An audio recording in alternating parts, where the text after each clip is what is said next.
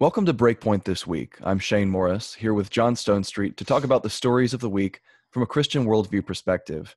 And John, I feel like if there was a week that is to 2020 what 2020 is to the decade, this has to have been it. As we speak, parts of several cities are burning and being destroyed by rioters. Uh, people have been killed in those riots in the wake of another police shooting of a black man.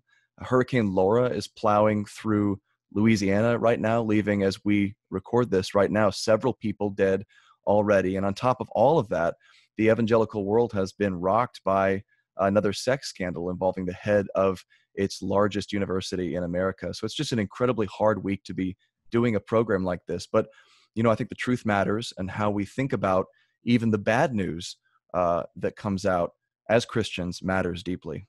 Yeah, well, I just want to start by saying that our, uh, our thoughts and prayers are certainly with uh, the residents uh, in Louisiana and even other states. Uh, yeah. As we are recording this, Louisiana has taken the brunt of uh, Hurricane Laura, uh, but it's certainly still scheduled as it weakens to head straight up the U.S. Um, it doesn't seem like the flooding is quite as bad as, as sort of the apocalyptic predictions uh, that were made ahead of time, but the winds certainly were bad, and there certainly is more than enough water and damage, and mm-hmm. this was going to last a long time. So, you know, we just want to begin that way um, because that's the thing. We spend so so much time on this program talking about the world that we live in, right? I mean, the actual events, and then kind of nature steps up and goes, you know, here I still am. I mean, you know, we talk about movies and and Netflix series and political conventions, and these are all cultural artifacts that humans have kind of superimposed on the created order, and yet we still live in a world in which the created order groans, um, subjected to frustration, not by its own choice, but by the choice of the image bearers. Uh, you know, this is subjected uh, it to futility, it, right? Yeah, that's right. I mean, this is where you kind of go, oh, Romans actually is saying something here that we need to pay attention to. But you know, real lives are being uh, uh impacted. I mean, you, you've got people that are already dealing with perhaps unemployment uh, because of COVID. Um, you have you know rescue efforts and trying to figure out guidelines you know for face mask while you're trying to rescue people from drowning i mean these these are just bizarre conversations that were taking place in the week heading into laura uh, you know and are still taking and place and isn't louisiana one of the poorest states in the country as well yeah, I mean, I, I, I, you know, it's it's uh, you've got these kind of regions of the South, yeah. um, you know, where where some of this is is the truth, but you know, that's the Southern U.S. and you know, whereas the Southern U.S. was dealing with um, what we would call natural evil, evil in which there's not really a human cause or intention. Uh, you know, this would be like accidents and mm. and natural disasters, but still things we look at and go, something went wrong, right? Like this has caused pain. It's not just an inconvenience; it's actually even more than that. Uh, and then on the northern, uh, you know, uh, side of the U.S., um, we had another act of moral evil in Kenosha, which, Wisconsin. This has unfolded over the course of the whole week because it first started with the uh, the shooting by police officers of a 29 year old black man, Jacob Blake, seven times in the back. I mean, the footage was really difficult to watch, and that immediately sparked more protests that that spilled over into violent uh, uh, riots. And then, of course, we that evil was compounded by uh, more violence by a sort of counter protester militia group, where a 17 year old boy uh, shot and killed one individual and then shot two others uh, as he was fleeing from these protesters. So, and then this has just set the country on fire. I mean, I can't, the news feed, and I've got friends texting me all day long saying, Did you see this? Did you see that? Are you watching this unfold? Are, I've, uh, you know, someone said our country is falling apart before our eyes, and that's what it feels like, John. It, watching the newsreels, that's what it feels like, despite what you know CNN might might say while standing in front of, while their anchor stands in front of burning cars and stuff. You know, mostly peaceful protest. Really? Yeah, I mean, look, the only conclusion we can come to at this point is is that we're not okay. Yeah. Um, culture, uh, the health of a culture is directly related, um, you know, to all kinds of factors. Uh, the health of family, the the health of uh, kind of the religious uh, impulse, the ability to delay gratification, control oneself, you know, as a kind of a cultural norm. Um, you, you know, there's just all of these things, and you know, it's been so dizzying with this particular story out of Kenosha, Wisconsin, uh, and the evil multiplying on evil, multiplying on evil, and then context being added to videos uh, on all sides. And I mean, this stuff is changing. It'd be impossible to render any verdict uh, about here's exactly what happened, why it happened, what the police officers were thinking, what this, you know, this guy who clearly this 17 year old kid who shouldn't have been in Kenosha to begin with, but was, and then, you know, was attacked, and then all this sort of stuff. There, there, there's going to be way more details that are going to provide context. I mean, we're still waiting on details to provide some sort of context on the George Floyd killing. Um, and, uh, and, and, yet this keeps happening. You know, this week, um, Shane, the former president of Prison Fellowship, uh, you know, was was our kind of our birth mother, if we could say it right, where Colson Center came from. Uh, Bishop Garland Hunt from uh, the Father's House, a church in Atlanta, Georgia, uh, led our prayer time. You know, we continue this week by week time of prayer with a couple thousand people that are joining us every Wednesday morning. It's really been a meaningful time. But he talked a little bit of that weariness, you know, just like, you know, we, we're not even getting a breather uh, between these incidents that are setting off. And again, um, I think about what Andy Crouch said during our Truth Love Together event. It's like we need less information and more context because before we get before we even get context, everyone's absolutely certain about what happened. Right. And the only thing we can be certain of is that we're not okay. And what's becoming clear, Shane, is that all the issues that we looked at this week, that we confronted this week, and I think this is a really important thing for us to remember no election is going to solve any of them. it, it, you know, there's not a political solution. You start with hurricanes. There's not a political so- solution to hurricanes, despite what you know some people promise that seas will stop rising and stuff like that. There's not a political solution to the race issue. There are political solutions to race-related issues, but the the fundamental issue of the the the hardness of heart, our inability to listen, uh, when when when Garland Hunt this week spoke about what he you know encouraged, he just said something really profound. He said, you know, the church cannot uh, solve this problem or be a part of the solution to these race problems if they think about it the same way as the world does. And this is where that stuff really becomes tangible. Uh, the church has to think about these things differently, all of these things differently, as Christians first, not as conservatives or, or, or Democrats or you know or anybody in between. And what a sign of the sickness that you're talking about, John, that each presidential candidate feels compelled to offer themselves as the solution to all yeah. of these problems. Like as if as if either man who's running for the two major parties is going to get into office and be able to fix in four years uh, race relations in America or the weather or a, a global pandemic or any of the or, or, you know sex scandals among evangelicals although i don't think that uh, the candidates have addressed that particular issue but um, thank god because i don't want to hear anybody else talking about it right now but it's it, it is interesting the way that the candidates feel pressured to offer themselves as the solution and conversely to pin all of these problems on the other guy and you you get the ridiculous spectacle of the guy currently in office trying to pin stuff on the guy who's not currently in office but but is running for office and the guy who's running for office having been in politics for decades trying to present himself as the you know great solution to as a change as a change yeah, as, a, agent, as a change yeah. agent right because and, um, and it's part of the game right i mean the parties are doing it to each other right i mean you can certainly see that um, you know policies are not created equal and we've said it before look elections matter because policies matter and because people matter but but it's just it, it just becomes clear that the brokenness of the world is not a political one and so any worldview that claims to be able to say, "Hey guys, I'll fix this problem. I mm. I figured out what's wrong with the world and I'll fix it." Like that's that's the worst stories of the 20th century right there. And uh, and we're seeing what happens when those things you know can't be fixed. Uh, I, I, was just really moved this week, and I, encourage everybody to come to breakpoint.org, and we'll link to a video of the message that um, Garland Hunt shared with us. Um, just just that, that basically the culture's out of options. If not the church, then who? Right? If not Christians providing some form of restoration, uh, being able to speak to both kind of the personal side of evil and the um, and the structural side of, of evil, and being able to offer some sort of path forward. I, you know, the the problem with any political solution to this is Shane is is what Steve Garber calls it's not a big enough worldview. It doesn't have the resources to handle the depth of the brokenness. Um, so yeah, I mean that's the story of this week, if you ask me.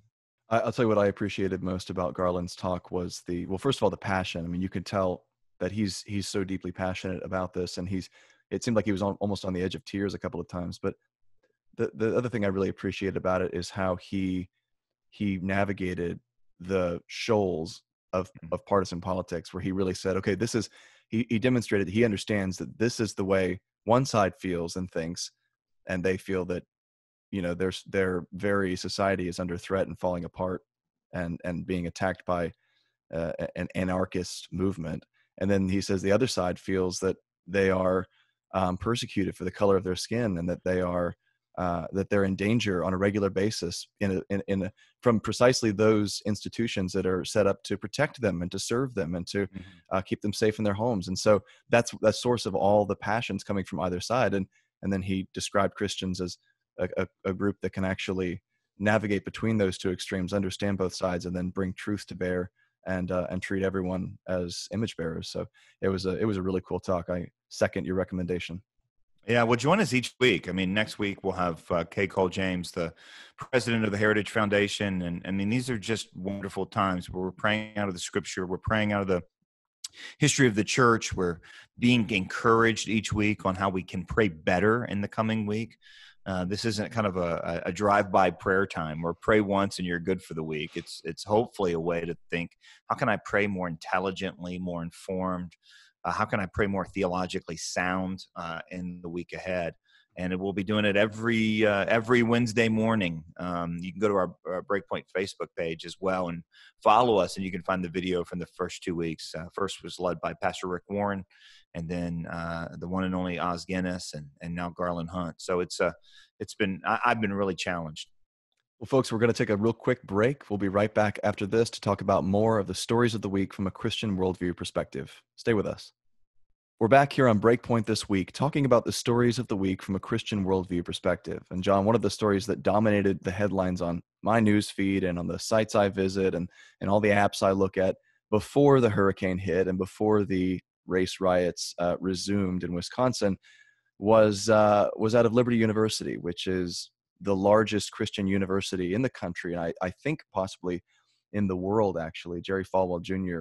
was the longtime president there, son, of course, of the late Jerry Falwell, uh, who led the moral majority, very famous figure in in uh, Christ, in American Christianity, evangelicalism in particular, and uh, a very venerated figure, someone who's been um, influential in so many people's lives through both the university and through um, his his teaching as a Christian leader.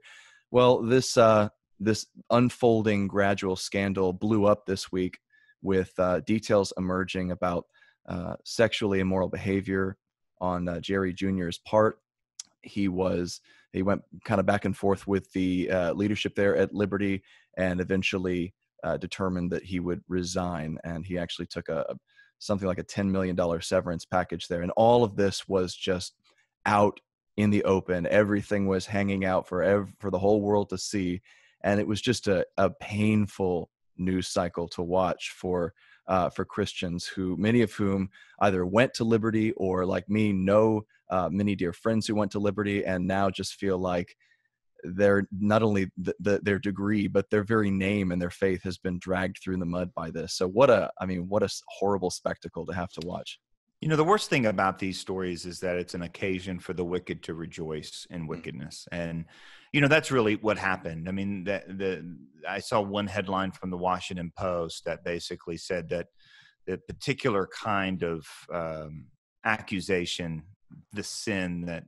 um, uh, Jerry Falwell Jr. is accused of committing is is uniquely susceptible to evangelicals because they have so many sexual hangups. I mean, it was so weird. It was and and just eh, you just kind of look at headlines and that was in the washington post where basically repressive sexuality is what causes this yeah. as opposed to you know you know the god-given you know design for marriage and everything else well it, it, it was particularly ugly given that this partic- this type of behavior was um, the subject of a slur often directed by right wingers right. to left wingers during you know the last election well and and that's the thing is this obviously the, story is loaded for a number of reasons and i don't want to get into that and i felt no. like there were too many evangelicals too many right. christians who have a negative opinion of liberty or of falwell or of trump and basically saw this as a wonderful opportunity to you know to to again to rejoice in wickedness. And what I just I felt like it was a gut punch all week. Mm-hmm. And uh, my my history with Liberty University goes way back to my earliest uh, memories, honestly, with, at the Christian school where I attended that was connected with Liberty. Jerry Falwell Sr. came and spoke at my church more than once. I've spoken at Liberty. I've got very good friends. Actually, one of some of my oldest friends on the planet um, is uh, you know are, are part of that community and have been old in friendship or old in years yes and uh, the answer is is a yes. But but you know I, what happened this week was and if you know how this works i mean there's people that have been there for decades have watched that transition from jerry senior to jerry junior have seen so much of this work and, and now they've had to walk their kids through things that they shouldn't have to walk their kids through. They had to explain things and, and then of course if you're on campus there especially now you, you realize what man what a what a what a divide there is from the everyday life uh, with spiritual formation directors and and RAs trying to pour into the lives of students and a very vibrant chapel and spiritual formation and serious professors and all kinds of different things and then you've got the executive life uh, that clearly we're learning more and more about and it's it's so so different and so here you have uh, people that have spent years of their life pouring into this place pouring into this project and now they are forced to deal with shame and it's not their fault and and, and you know one of the things we talked about this week and i i, I was I, I couldn't figure out exactly how to talk about this well without joining this chorus where you're just kind of celebrating the wickedness or at least reveling in the fact that somebody else got caught. The lesson to be learned here is is that none of us should go without accountability.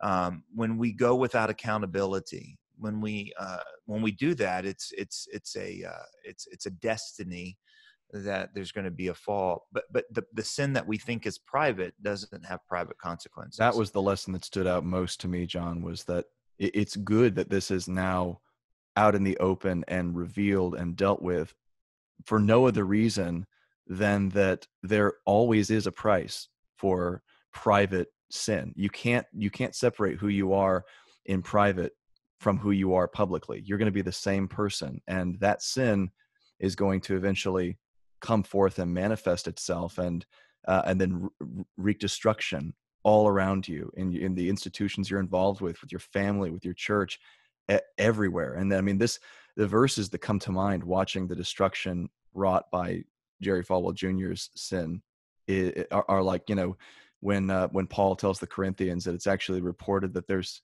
sexual immorality among you of a kind that's you know reviled among the pagans even or where, where he says that um, you know quoting deuteronomy you should purge that kind of evil from among you or or where Peter gives a positive admonition where he says, Live such good lives among the pagans that, you know, they'll see your good deeds and glorify God on the day of his visitation. And that's that's the what we should be striving for. And instead we see exactly the opposite happening. It is uniquely destructive. When yeah, but it's important to say, Shane, that that liberty is a big, big place. I mean, it is big. Yes, it is a huge place, and there are there are uh, dozens and dozens and dozens, and I dare say hundreds um, of people who have lived that Peter way for years, mm-hmm. investing in to an institution that has become a remarkable place. I mean, I know some of the fiercest critics of the leadership of that school who send their kids to that school. Why? Because they do a lot of things really well. And there's a, it's not for everyone, just like no college is for everyone. But, but that's what's so hard is that there, there's, um, you know, we, one of the things that becomes clear and it's actually clear in another story that we'll talk about in the next segment but that hidden evil is evil that is allowed to flourish mm-hmm. and sometimes the best day is the hardest day when that stuff comes to light and it's been a really hard week for people on campus and i i, I think we need to pray for this school. Uh, we need to pray for you know the literally hundreds of people that are on campus right now that love the lord and they're trying to do the right thing and they're mentoring and they're leading and they're teaching and they've got you know a real commitment to christ on a number of levels and they're forced to kind of this has been thrown into their lap and it's uh it's it's a really hard thing uh, for them to do. And, and you can see that stark contrast, right, between what Paul told the church at Corinth and what Peter encouraged the body of Christ. And, it's, it was right there on that same campus. And uh, it's, it's, it's, it's awful. So may, may, God bring some mercy to that place and encourage the people that have given their lives, uh, you know, to this vision and, uh, and, you know, have for a really long time. Yeah, faithful Liberty students, faculty members, all of you. I mean, I can't tell you anything but don't weary in in doing good. Don't grow weary in it because it has its it has its reward, and um, you'll be rewarded, uh, especially by the one who sees in secret, as Jesus said.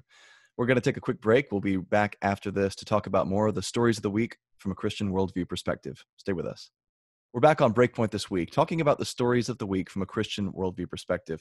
And John, another story that we just have to hit is the GOP convention uh, nominating President Donald Trump as the candidate for uh, the, the, election coming up in November here, because we covered the Democratic convention, and there are a couple of things that we just need to, to mention and talk about coming out of this convention, because it's going to be the thing that dominates headlines uh, as we move into election, uh, an incredibly contentious election season here.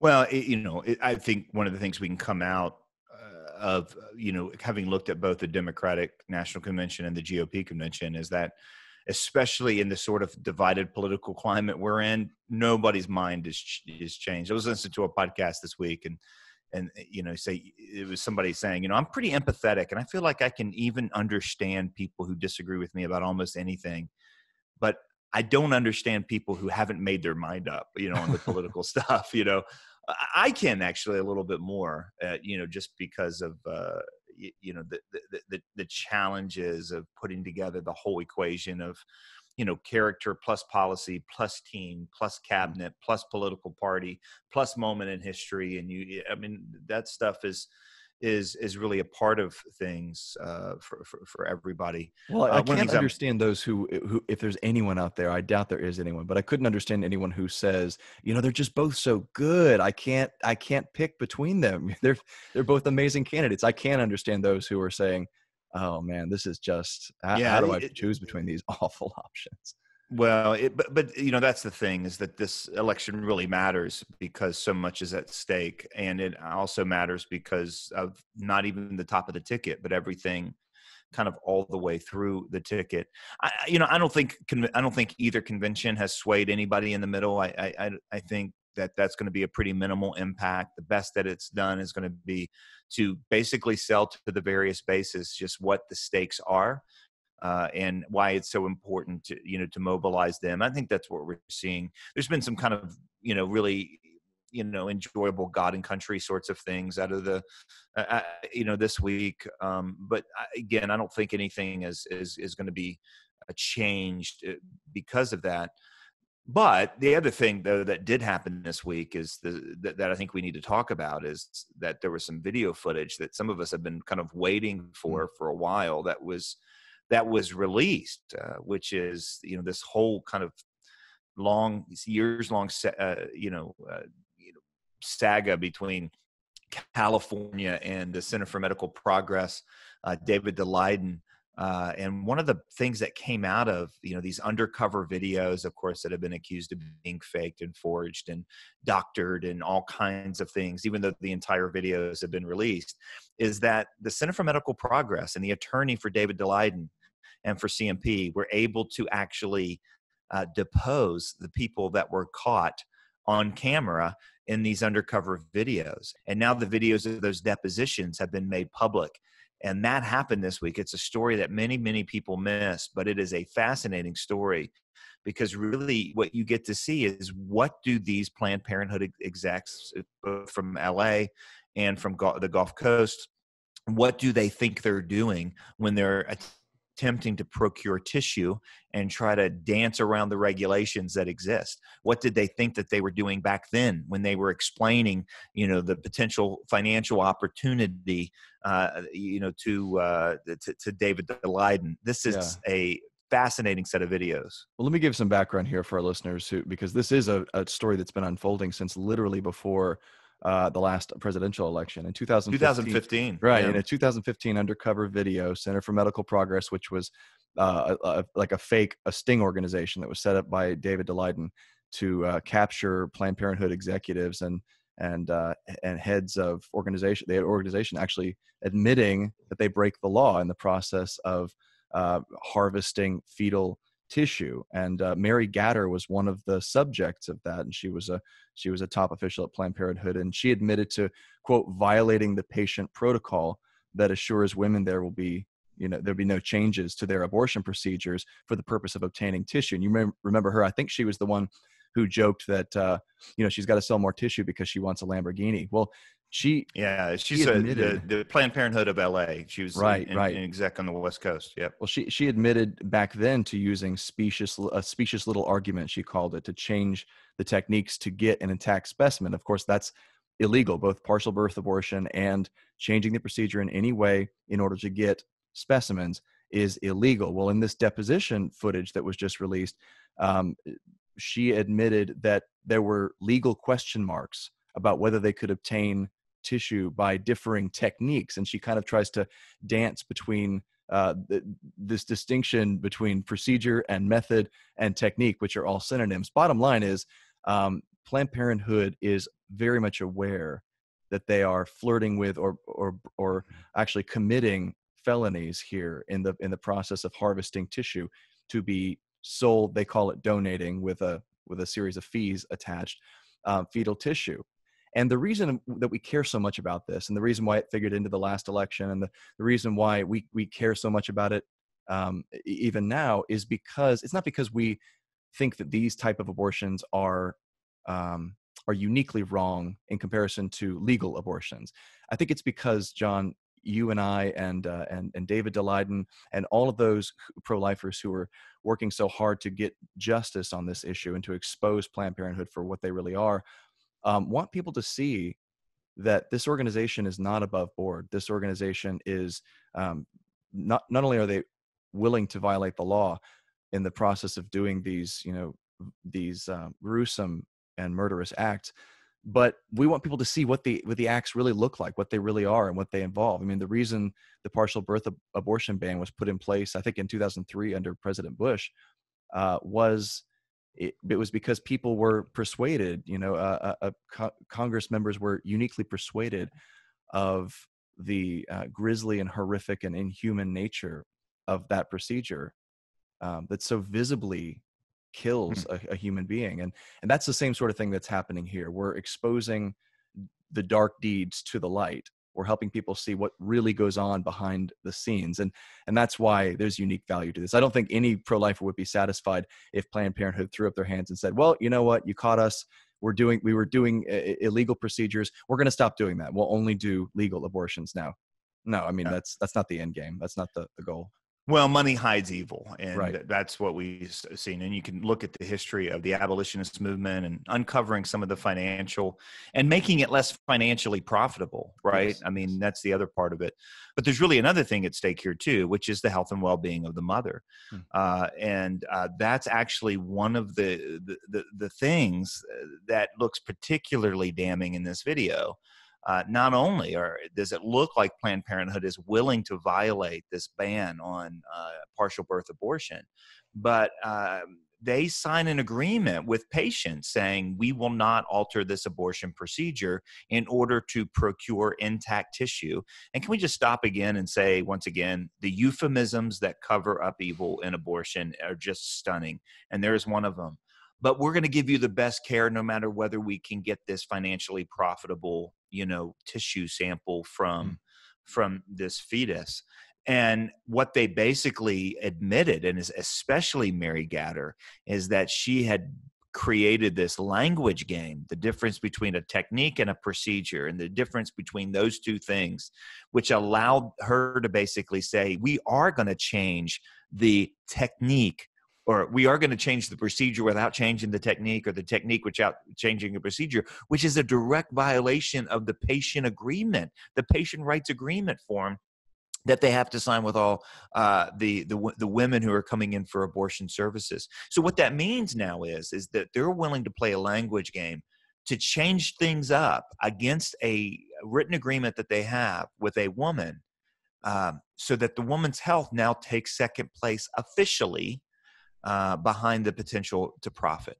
And that's really at stake here. Um, we'll link to this video at breakpoint.org. It's something that, again, that I, these videos need to be seen, they need to be understood, they need to be shared widely uh, with as many people as possible. Um, because, you know, you and I talked about this this past week, and one of the questions that we were dealing in our q&a segment on the breakpoint podcast it's just a simple question about abortion that gets thrown around a lot. And i and i think like abby johnson uh, in the movie unplanned you can see the story. She doesn't really like abortion but she thinks she's helping people. And and and, and suddenly this when the scales fall from your eyes and it becomes more and more obvious just really what we're talking about here uh, then the public support for abortion uh, continues to go down. And that, and I, I think that's what makes these videos really important I think they've contributed um, uniquely to that end uh, in in raising awareness and in helping people to to sort of um, feel the revulsion that they should feel to these to these procedures. We're seeing people behind the scenes at, who are directly involved in abortion admitting what actually goes on and admitting mm-hmm. that women are not first. It's not really about the women. It's really, uh, in many ways, about this carrying on the organization's existence and profiting off of the destruction of human life. What All right, Shane. Well, as we close out today's program, it's time for our recommendations of the week. Just a time where we just share what is good. You know, I once drove by it. Let me let me explain why we do this. I, I, grew up near in, in the South and lived in the South, and the South has some really good things, and then the South has billboards on churches, which are maybe the, the the dominant source of heresy worldwide. You know, it's just amazing some of the things that I saw. One of the sayings that I saw, it was in fact it was on in the town where I was living. It was on the billboard of the biggest church in town for like three weeks, and it said, "Jesus is the only good thing left in a bad world." you talk about a Gnostic heresy on a billboard, right? It was just, uh, it, it, was just flat out not true. And of course, it was ironic because if Jesus is the only good thing left in a bad world, why would I ever come to your church? But anyway, the the, the point is, is that there are good things in the world, uh, human creations, and certainly God's creation that are worth uh, and engaging in. So, what do you got uh, as a recommendation this week?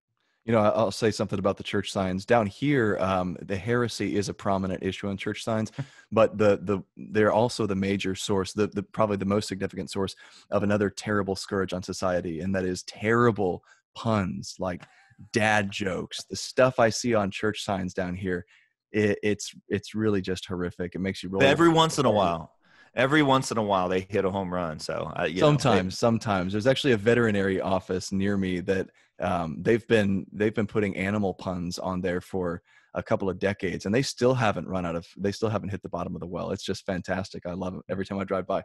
Well my recommendation this week uh, is not a not a particular book or resource but it's a it's a way that you can consume books and resources and that is reading aloud to your kids if you are a parent i can't recommend this enough and i recommend it on the basis of personal experience and enrichment in my own life. It was so meaningful to me in my homeschool upbringing when uh, when my mom and dad would read aloud to us, whether it was the Great Illustrated Classics series or uh, these American adventure books that taught history or Little House on the Prairie.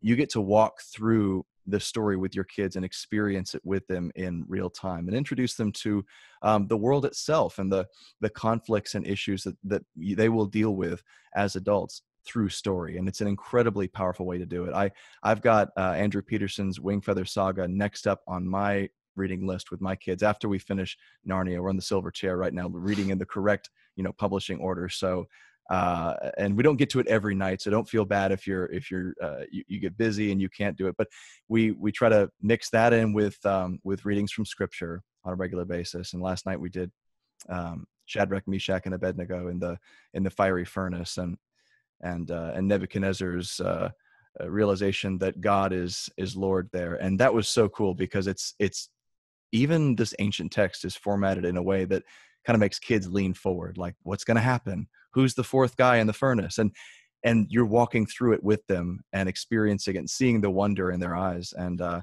that's a priceless experience. I know because it worked for me, and I'm doing the same thing with my kids. So read aloud to your kids, and if you need some recommendations, we will have uh, we we regularly do stuff on Breakpoint, but I will direct you to my uh, my podcast, the Upstream podcast from the Colson Center, because I regularly interview um, authors who are are excellent to read to your kids. In fact, just today, John, I interviewed S.D. Smith, who's the author of the Green Ember series, a Christian uh, fantasy writer, and his series is uh, is well suited for kids, but he he insists that there's quite a few adult fans too who who really love it. So that'll be um, that'll be on. He was list. inspired to write those books from Chuck Colson, driving yes. around the yes. mountains of West Virginia.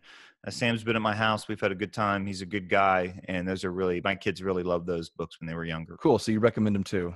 That's that's well yeah. yeah my wife does a great job um, reading. So my recommendation i'm going to give you one that's going to be you know not going to surprise you and then i'm going to give you one that's going to shock everyone. I'm actually going to recommend a reality tv series. Can you believe that?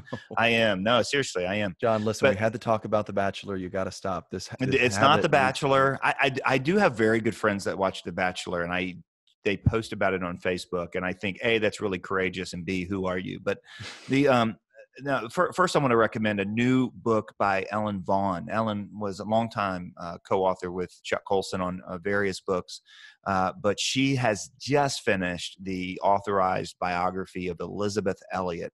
Um, the story of Jim Elliot, the the four uh, other missionaries uh, who died at the hands of the Auca Indians back in 1954, made the cover of Time magazine and has inspired literally thousands upon thousands upon thousands of people uh, to serve Christ in various ways. And of course, Elisabeth Elliot goes back into the village eh, where the men were that killed her husband, uh, and ends up sharing Christ with them. The, the, the, village converts. It's really one of the most remarkable stories as that thing continues to unfold. Uh, but the book is called Becoming Elisabeth Elliot, and uh, Ellen's a, a, tremendous writer, and the story is one of those stories that needs to be told and retold and retold and retold. So very excited to jump into that. I'm recommending it before I've actually read it, which I don't usually do. Uh, but this is one of those stories that I think uh, everyone, uh, if, if, if you remember uh, the uh, Jim Elliot story, if you remember Shadow of the Almighty, if you remember the story of Jungle Pilot, Nate Saint, if you remember uh, Elisabeth Elliot's books, Passion and Purity, and, and so on, then this is something you're going to want to know. So the other thing I'm going to recommend again is a reality TV series. So a bunch of my friends were telling me about how interesting this this series was called Alone. And Alone, uh, uh, season one is available on Amazon Prime. Uh, basically, they take ten guys, they dump them on Vancouver Island, uh, where there is something like five thousand bears and seven thousand wolves, and a whole bunch of something else that'll kill you too. What was the other thing that'll probably Wolverine? Like, no, no, no, no. It was um uh uh oh no uh mountain lions. Oh great. Um yeah yeah, and they can take ten items in there. They have no way to communicate except for closed circuit video cameras, uh, so that they can record all this stuff. And there's not a, a lot of these shows have an end date, right? You know, can you survive this long? The, the rules of this game are out of these 10 guys, whoever survives the longest gets $500,000. Wait, wait, wait, so, wait, wait, wait. So, so stop here for a second because what you just said seems to imply that all the losers are going to die. Well, well you know, you basically you die or you tap this is, out. Is this now, the Hunger Games or a reality they, show? Okay, they they do go. You know, there was one guy in particular who's uh, had a really uh, aggressive run in with a bear, so they came and rescued him. But you tap out, and it was fascinating. well, it is. It's it's fascinating the, how psychological this is, and you see the human condition, and you see you know what happens when people are alone with their thoughts, and how do people deal with their past, and and it's just really entertaining entertaining but it's also this fascinating thing where out of those 10 guys like the first four tap out in the first four days and these are like marines you know huh. but there's something about you know being surrounded by mama bears that they were like ain't worth five hundred thousand dollars is not worth my life. Which eh, that's an interesting lesson, right? When we have a whole bunch of people that live for far less than that and give up their soul for far less than that. And then the winner. I mean, the the, the, the interesting thing about this is there's no end in sight. Some of these guys are thinking to beat these other guys, I'm going to have to stay out here a year you know? And the winter lasts 56 days uh 56 days and they come and he was surprised that that was the winter. But it it's just fascinating. You you you see family you see loneliness you see what people can and can't live with. And especially i guess at a time of kind of you know mid covid isolation uh you know w- what is happening in your brain and so on it, it, it's it's an interesting show it's called alone on Amazon. And I will probably never recommend another reality television series again, but th- that one was pretty fascinating. Yeah, John, I heard they were going to do a sequel where they take a bunch of English boarding school boys and dump them on an island with with pig inhabitants and and see what happens with that group. Yeah, we talked about that. The Lord of the Flies. This is, but, but they're not together. These ten guys are isolated. They're six. They don't, they don't know where each okay, other. I mean, okay, so they can't, they no can't get oh, into no, no, no. war with each other or anything like that. No, no, no. There's no like you know alliances and fake survivor. This is quite authentic, right? I mean, this is they basically get dropped off six or seven or eight miles from each other, and they don't know where anyone else is, and they've got to start a fire where it's been raining for 200 days out of the last year and i mean it's pretty interesting but did you ever see les stroud did you ever see Survivor Man? no, uh, he was a Canadian, so. he Canadian survivalist. He was really good. I mean, he he puts Bear Grylls to shame. I, I don't like Bear Grylls because he he basically ah, sleeps in a hotel. So Shane just confessed that he's been watching some reality. Okay, all right, but does, does this really count as reality TV? I mean, it, it doesn't fit any of the typical descriptions of of the genre. But Les Stroud was great. He he did the exact same thing you're talking about here. He would he would get himself stranded in some situation, whether it was in the in the snowy woods of Canada or on a desert island or uh, out at sea or in the desert or something like that, and then he'd just see how long he could survive with a plausible uh, like inventory of things that you could accidentally get stranded with out there. So he has to pull apart an airplane in one episode. But if he got in the the, the show you're talking about, he'd he win. Could, he'd win yeah, down. he'd win. But yeah, what's, what's so interesting about this is that the money didn't end up being the driving factor for why people tapped in or tapped out and why people stayed. So that's just it's just hmm. it's just interesting when you think who are we as human beings? What is it that really motivates us? What's the role of relationships? You know. Yeah. And uh, anyway, so there you go. Reality TV recommendation just for you. Excellent. Well, folks, we're out of time for today. Come to breakpoint.org for links to all the stories John and I have mentioned today on the program. We'll also link you to the resources and reality TV shows that we mentioned here in the uh, recommendation segment. And you'll also find at Breakpoint uh, worldview commentary updated daily and resources to help you think and live like a Christian in today's culture. So thanks so much for listening. God bless. We'll see you next week.